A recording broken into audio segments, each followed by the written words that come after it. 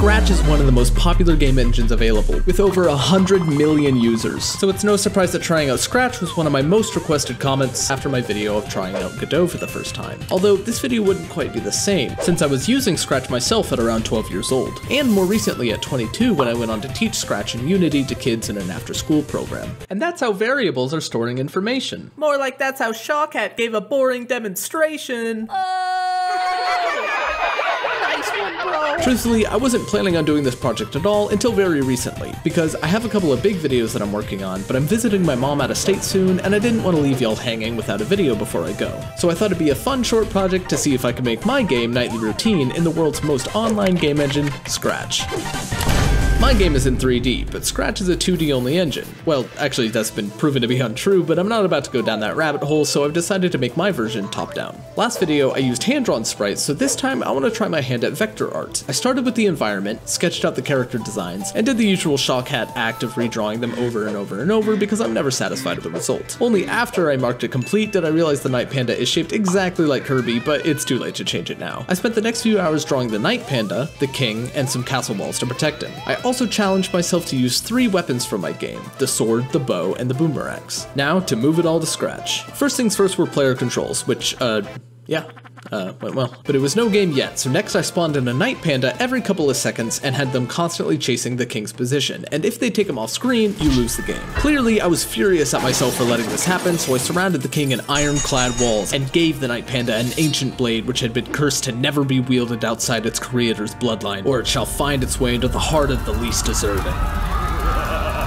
I'm just kidding, the walls are made of stone. Swinging the sword was the first actual challenge because I created an easing system to start the swing with a lot of force, and then have the speed damp out as the sword is pulled back up to simulate preparing for the next swing. And the result looked great after adding in some hit feedback. But it was at that moment I realized my Night Pandas were spawning two at a time instead of just once, and I spent a literal entire hour scouring through my code, tearing my hair out because I could not figure out why this was happening, until I discovered it's a relatively common bug, and all I had to do was refresh the page. Now the Night Pandas come at a steady, structured pace, only to act like a bunch of grown adults at the rotisserie chicken section at Costco. So I made it when they touch the wall, they apply damage before eventually breaking it down. Before moving on, I wanted to add the next two weapons, so I started with the bow, which proved to be much easier than the sword, since all I had to do was spin it around the player and spawn a moving projectile arrow. The boomerangs did not greet me with such grace. My problem is, I wanted it to spin in circles around its own axis while moving, but since Scratch has sprites move based off the direction they're facing, I was left with this really cool circular motion that sadly revealed to be quite useless and unfun to use. So instead, I made multiple sprites at different rotations to give it an actual spinning animation, without actually spinning the sprite. And basing off my easing code for the sword, had you throw at the boomerangs, which returns to you with almost an elastic effect. Now you could fight the Night Pandas forever, but I wanted to add a little more interactivity between the knights. So I sketched up some UI and then I resketched it again and again and again and again because I always have trouble with UI, and I asked Tyler to help me, but he said he's too busy with his college homework, so I eventually came up with something that looked halfway decent, and for a while I was playing around with the concept of manually deciding what to spend your souls on, as you do in the real game, but I got a plane to catch and a mom to see, so I scrapped it all and instead had a pop-up where each night you choose one thing to upgrade before the fight. The integrity of the walls, your weapon damage, how far you knock the enemies back, or how fast you walk,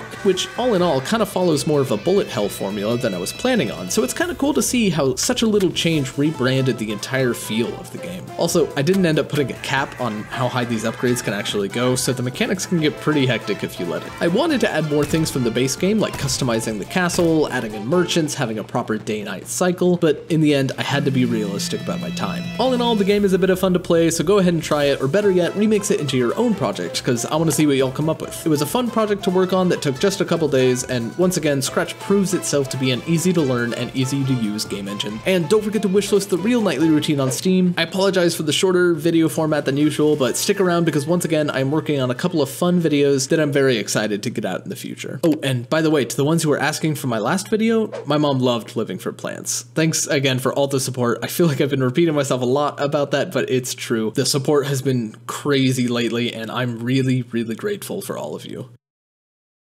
Oh my god, is that the time? My plane leaves in 10 minutes!